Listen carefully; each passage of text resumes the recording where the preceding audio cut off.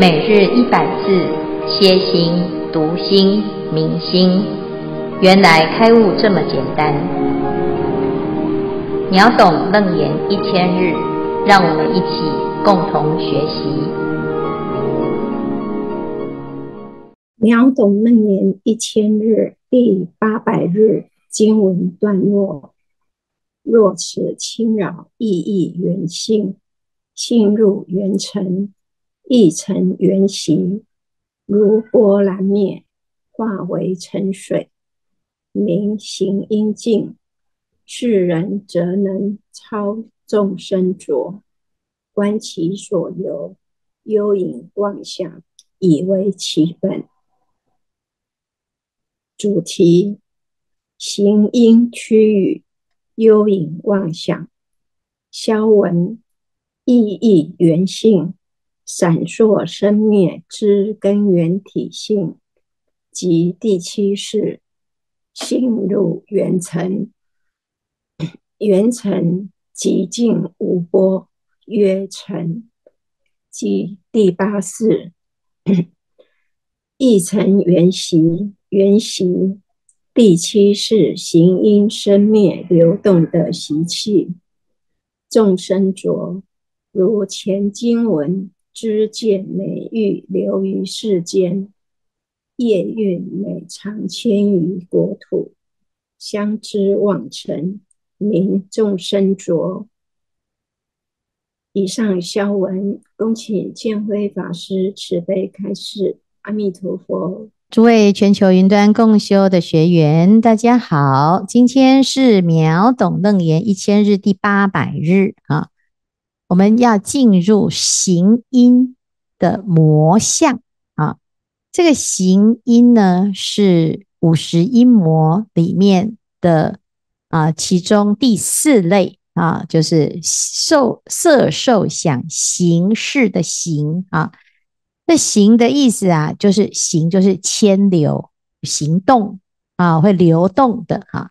那这五十音魔呢，其实就是我们自己的。我啊啊，就是每一个人的我，就从色、受、想、行、识这五种啊假合，这五种法啊集合起来，就形成一个我的概念哈。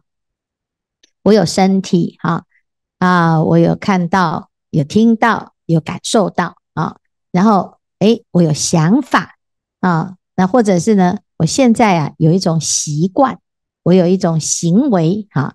那最后呢？啊，这个我有一种人生的特质啊，我是人还是啊这个鬼还是天啊？那色受想行识呢，是所有众生都具备的哈五因之法。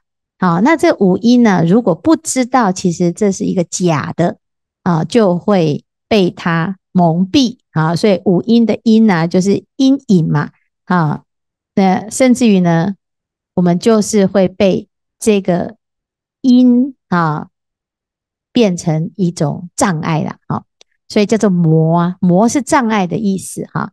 那为什么会有魔呢？其实我们平常没修行哈，你不知道有魔，你是要突破它，它才会出现啊。那所以呀，会遇到魔，表示你已经要大功告成的啦啊。就像如果打游戏呀，都是到最后要。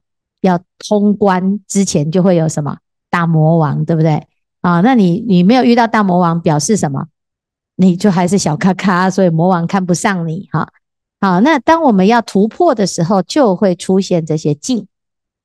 那遇到这个境呢，你不要害怕，你只要知道哦，原来这个就是啊某一种魔，你就不会被他骗啊。所以佛陀一直叫我们要看清楚啊。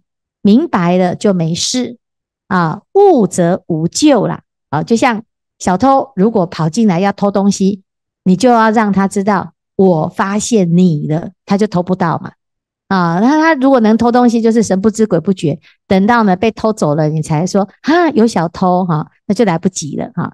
所以要先啊，比他还要先知道啊，比魔还要先一步哈！就像我们出。剪刀石头布，你如果知道对方要出哪一招，你就可以用哪一招来抵抵制他嘛，啊，所以道高一尺，魔高一丈啊，啊，是这样子因此我们要先了解啊，这些魔它大概都是会什么样子哈。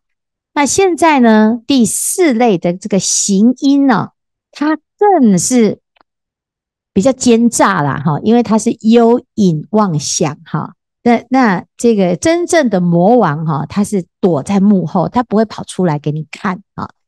那我们的心呢啊，讲得出来的，想得出来的哈，都是粗的。但是行呢，它是在啊意念要动之前啊一个维系的意啊。所以如果我们要讲心意识的话啊，这第六式是事，那第七式。这个就是行，行因就是意啊，意就是你的念头一动，你不知不觉当中呢养成的习惯啊，那这个就是行了哈。好，那什么时候呢会突破这个五十阴魔的行音呢？啊，就是在第三类响音尽者，这个哎善男子修三摩地啊，响音尽者，那你就开始呢进入了行音的。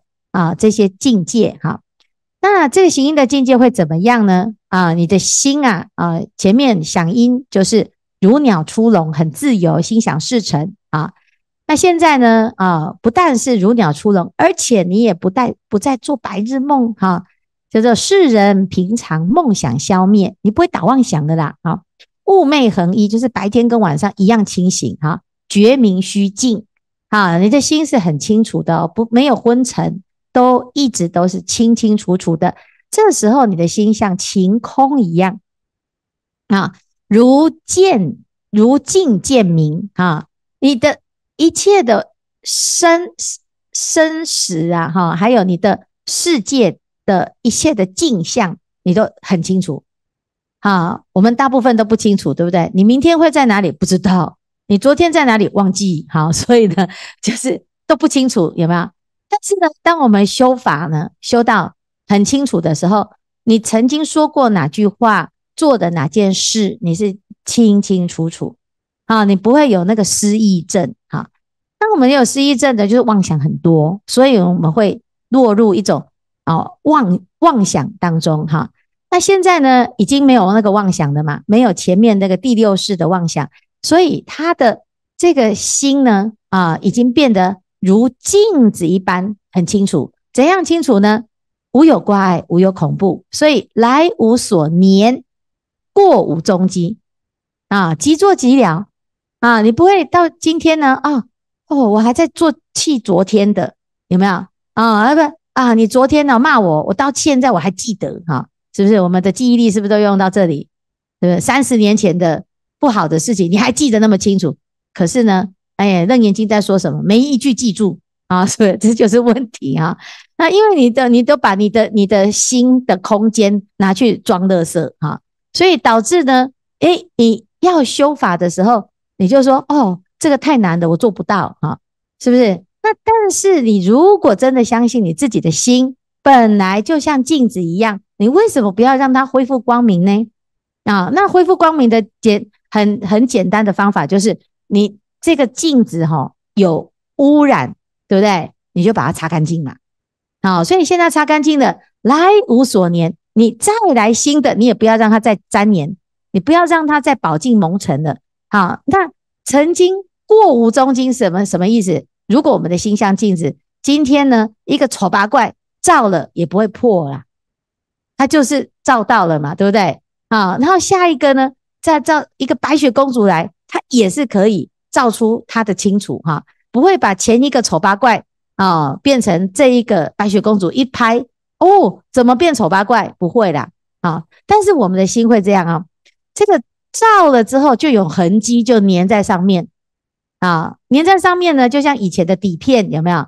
照完的哇啊，它那个就就必须要怎样啊？必须要换新的底片，你才能够再照啊。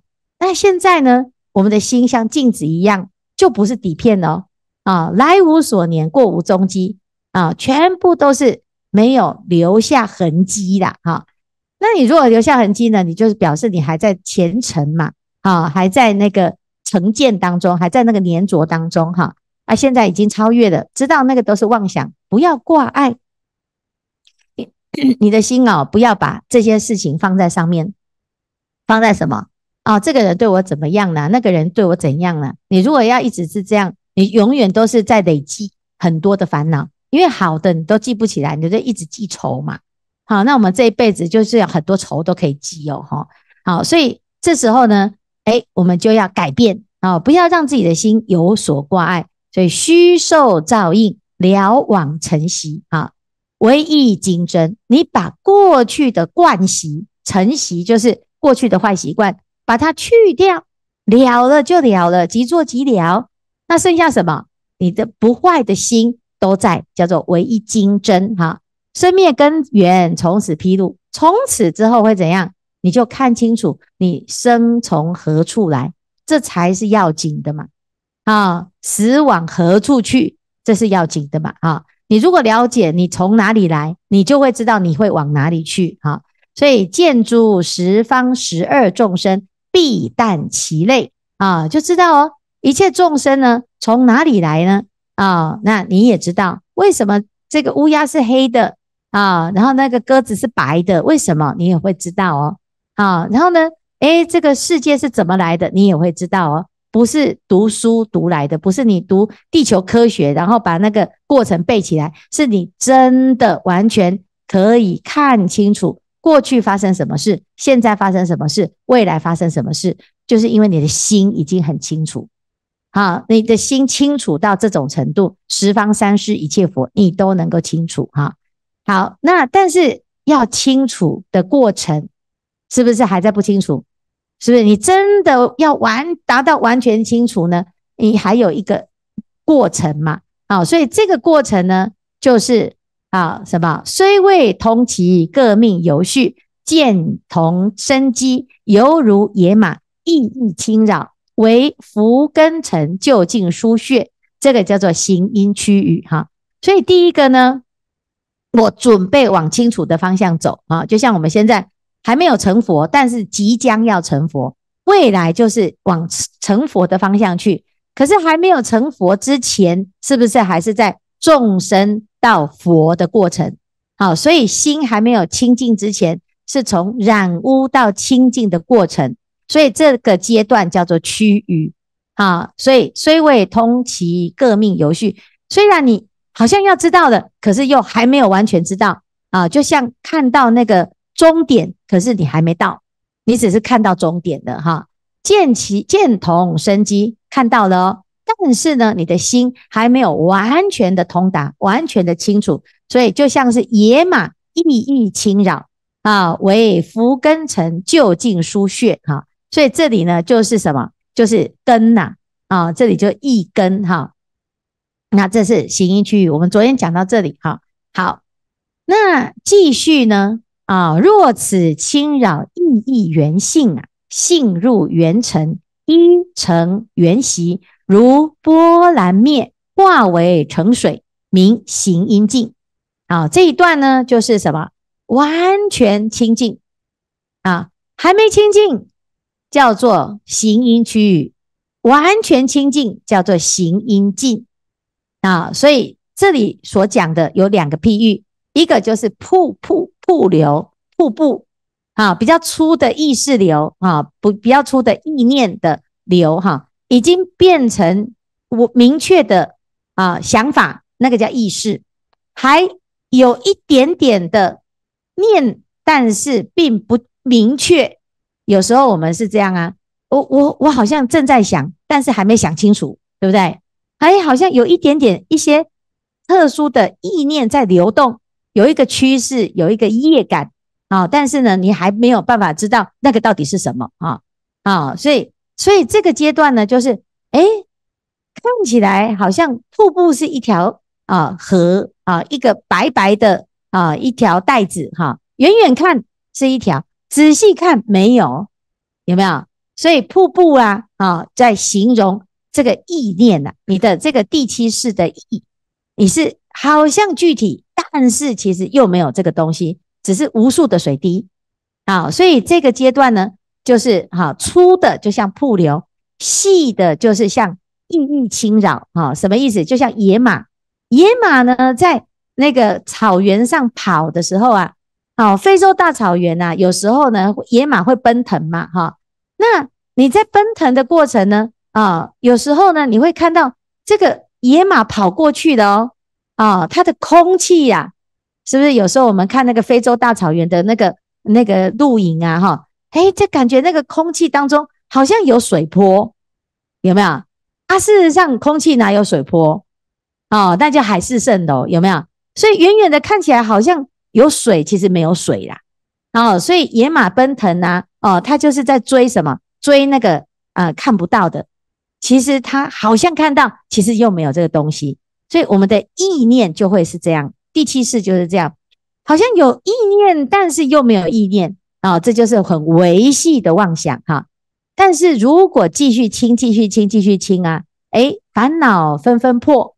啊，无名纷纷破啊，就慢慢慢慢越来越清楚，到最后呢，性入圆成，一成圆习，就回到了本然的清净啊。记不记得我们在前面二决定义就在讲啊，这是以因同果，成浊入涅盘嘛。好，所以浊水要被澄清，它要有一个还原的过程啊，还原到呢。哎，这个水呢，完全干净，叫做澄啊，啊，所以化为澄水。其实呢，本来水就没有不干净，只是因为有波浪，大家了解吗？哦，所以你波浪，你就不知道水是干净的还是不干净的啊。好，那事实上波浪就是水嘛。好，所以我们的心有起念头，就像波浪一样，但是它并不是表示它就是一个烦恼心，不是。只是它有一个啊，一个波浪啊，然后波浪呢，让我们看不清楚你的心到底是清净的还是不清净的。所以这个阶段呢，啊，就是要慢慢的去突破它哈。那等到完全突破，化为成水，那就叫做行阴尽啊。所以这里就在讲，一个是行阴去，一个叫做行阴尽啊。好，世人则能超众生浊啊。我们前面讲啊，哈。这个啊，前面的这个啊，响音啊，如果能够突破的话呢，响音尽就超越什么命啊？超越命浊，哈啊，烦恼浊哈，超越烦恼浊。那现在呢，行音尽就超越众生浊，就五浊二世的浊哈。好，那观其所由，因幽隐妄想以为其本。这个幽隐妄想就是行因的特质。行因就是藏在你的意识的底层，不知道这个人在想什么，因为他可能没有在想什么，可能他不知道自己在想什么啊。你问他，你有什么想法？嗯，没有，但是又好像有一点点的啊想法，那个叫做行呐啊，叫做妄想。什么妄想？幽隐啊，就是隐藏版的啦。好，那前面呢，这个楞严经啊解释的行因，什么叫行因妄想？哈。话理不住，命运运密仪，假长法生，气消容皱，日夜相待，成无觉悟。这个是什么？你看你的头发什么时候长长的？不知道对不对？哎，怎么现在变那么长的？有没有？你的指甲什么时候长长的？啊，等到你有感觉，它已经长了，对不对？啊，那你看你的。你的皱纹什么长时候长出来的？不知道，是不是？是你在六十岁，然后啊，那个唱完生日快乐歌，然后吹蜡烛，吹完，然后突然脸就突然长出五十条皱纹，这样吗？不是嘛？所以按按什么时候开始的？嗯，就什么锦眉短几寸嘛。所以一天跟一天中间呢，你看不出差距。可是如果呢，你少小离家老大回，你就说。哈，你怎么变那么老了？有没有？所以你如果去参加国小同学会，你就很明显的知道一个字叫做老嘛。好，但是你如果昨天见面，今天再见面，你就不知道自己变了嘛？啊，因为我们每天都跟自己在一起，所以你的变化是不是都不知道？啊，那这个叫做密仪嘛，运运密仪，好，日夜相待，曾无觉悟啊。好，则汝诸行念念不停，名为幽隐。第四妄想就是那个行啊，是念念念念不停的。所以你看起来现在没有在想，其实你随时都在有念头。啊，所以这个就打妄想打得很厉害呀，啊，直到呢，哎，打出真的具体的，那已经来不及了嘛，好，你已经哎有想法了，就像有些人说，哦，我今天我已经忍你很久了，有没有啊？那忍你很久哈啊，我看起来没什么事啊，但是因为他已经到极限就爆炸了嘛，爆炸之前其实早就已经有隐藏版的啊冲突，或者是隐藏版版的不开心哈。那这个就叫做幽隐啊啊，所以一旦业障现前的时候，其实它其来有自嘛，它前面已经有业了嘛，所以行就是业啊，啊业就是动嘛。那你每天都在动，每天都在动，只是动到哪里去啊？成佛也会不知不觉，成魔也会不知不觉，啊懈怠也会不知不不觉嘛。啊，成就也会不知不觉啊，所以我们每天每天每天念念不停，你的念念是念到哪里去啊？那这个就是很维系的啊，所以它叫做幽隐妄想。那我们特别呢，如果能够观察到这个有隐妄想，你的修行一定有大成就，所以可以超越众生浊啊。所以这是今天的定义哈。那定义之后呢，我们明天开始就会开始来认识这十种。想行音区域啊，我们今天呢就先知道行音的特质，然后行音的状态，行音区域是由哪一些原因引起的？那超越行音之后呢，就可以超越众生浊啊。所以以上是今天的重点。师父阿弥陀佛，感恩师父的开示，来呃做了一些 slide，我们来看今天的。这个我们从响音浊到行音，哈，行这个，呃，可能造成我们的习气了啊。这习气就是每一次都这样子，这个好像在轮回一样。那好的习气有时候也是充满正能量，像我们手术啊，手术次数越多啊，这个成功率就越高。打高尔夫球啊，要打一万次以上啊，哎，越打越好。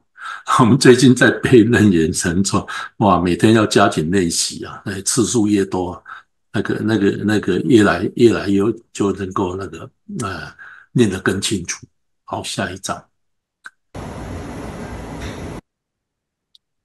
那整个佛法的传播，哈，这个呃这样一个伟大的宗教啊。如果一直在讲五印祭祖，就是哎呀，感觉都很好哦，这个不可能成为一个伟大的宗教了啊。那从历史来看呢，要有两位伟大的大人物，一位是西汉之前的这个十八岁的霍去病哦，他直接开战哦，他就去六次的征战呢，就把河西走廊的这个。匈奴都赶走了，那建立的河西四郡，哈，那没有把河西走廊啊这样清除干净啊，哎，那时候佛法也不知道从西域传过来啊，是不是有很多的困难？啊，在七百年以后，大家知道，就玄奘大师啊，这二十八岁啊，就开始西行求法。那回来以后啊，他缴了一份那个向唐太宗缴了一个报告，就是大家知道的《大唐西域记》了。那两千零一年呢，有一位伟大的这个佛弟子啊，他就自己走了一趟所有呃玄奘大师走过的路，啊，那这本书叫做《就近之力》啊，没有错了哈，玄奘大师这一条路真的是就近之力，他让我们从五蕴具足，然后能够超越，然后来到了哎五蕴是一个有空性，让我们有清净性。好，下一章。那礼拜天呐，我从走营啊，要坐高铁啊，要回到台北，那我就买自由座，那个四点五十五分这一班啊，大概一个小时四十分就到台北了啊。那我坐上去啊，本来要坐自由座啊，结果一看，哇，都是人呐，根本没有位置坐啊。哎，我就一路站到台中啊。那到台中的时候呢，哎，就看到有就。哎，有位置坐了，我就赶快坐下去啊！哎，可以从台中啊坐到台北，但是就看到两位比丘尼法师啊就上车了。